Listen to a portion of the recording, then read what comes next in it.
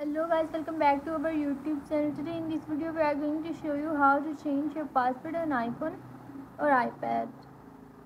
So guys pause this video to the very end and don't skip any part of this video. So let's get started without wasting time.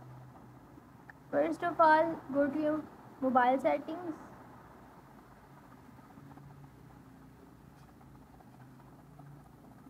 Tap on your apple id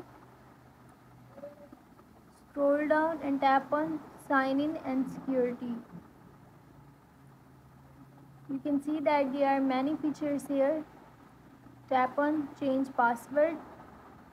Then enter your iPhone password. This password can be used to change your pass password because you are signing because you are signed into iCloud and have a password enabled verifying and then change password enter a new password and then here re-enter your password to verify. Your password must be at least 8 characters include a number an uppercase letter and a lowercase letter. That's it.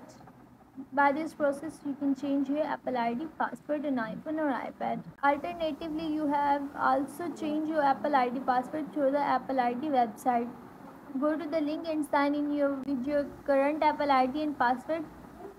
That's it.